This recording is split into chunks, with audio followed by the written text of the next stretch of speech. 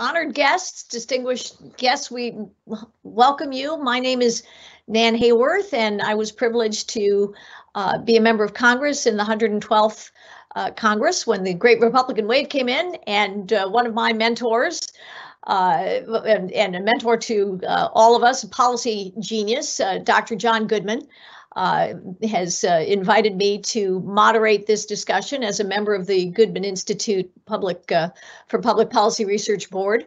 Uh, we're awaiting our connection with uh, the 50th Speaker of the House, uh, whom you know well, Newt Gingrich, and we're waiting for him to join us from Rome. First of all, I want to pick up on what John Goodman was saying when I first came on, and that is he and I have a relationship uh, Mutual Admiration Society uh, that goes back many, many years. I, I don't know of any single person spent more time trying to find a way to develop a decentralized, patient-oriented, uh, market-oriented system than John. And his work and the work of the Goodman Institute is just remarkably important. Um, I think that, that healthcare uh, is probably the greatest area of Republican vulnerability, uh, partially because historically uh, we've had leaders who refuse to think about it. Uh, and they do that in part because it's very hard. And this is why John is so important. What John has done, I think, has begun to lay out the framework for a patient centered model that uses modern technology. Uh, he's certainly been one of the leaders in helping us all understand about telemedicine about the potential for truly personal information. We have a potential to develop a, a personal, portable insurance system which liberates you, puts you in charge, and which I'm convinced will ultimately save money. I think if we can get the individual back into the system with the right information, uh, we will probably reduce the cost of healthcare by about 40%, uh, which would be an enormous shift in our economy and a great potential for us to be even more competitive in the world.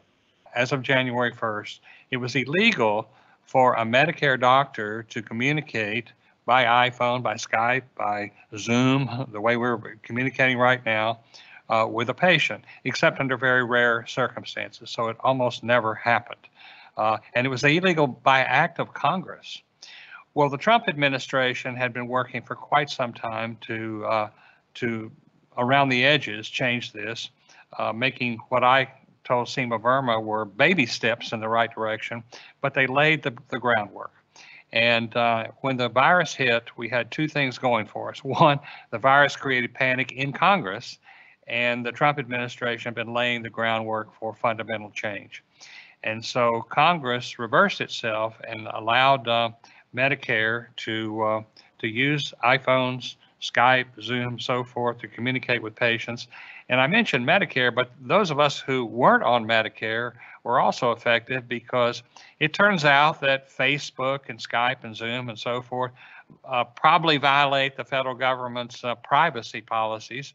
And so none of us were talking to doctors the way we talk to our lawyers and accountants and other uh, professionals. I mean, the estimate is that one in three uh, doctor visits uh, do not need to be in the doctor's office. They could easily be from your home.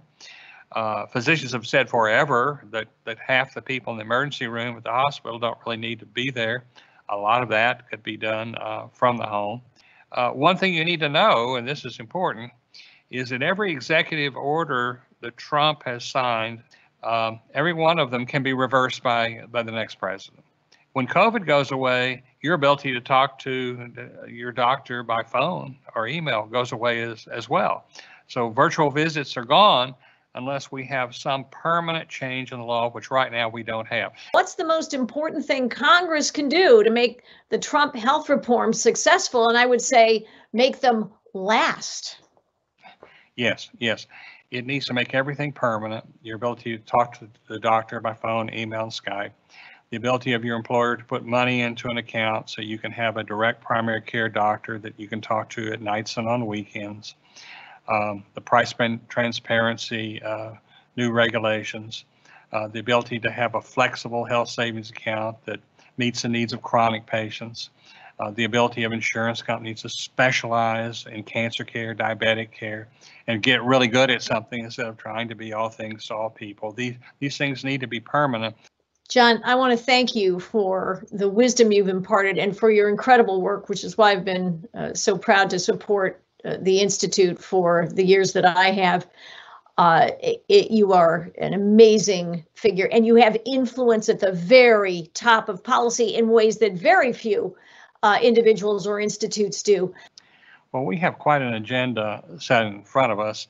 Uh, There's some urgency between now and the election, and even beyond the election, uh, there- there's a lot that needs to be done. And um, if you'd like to learn more, uh, let us know, and we'll do a one-on-one with you and uh, let you know what our plans are and what kind of help we need. And uh, if you know of others who should have been on this, uh, on this uh, interview and would benefit from it, let us know, and we'll be happy to contact them. And once again, thank you all for joining us.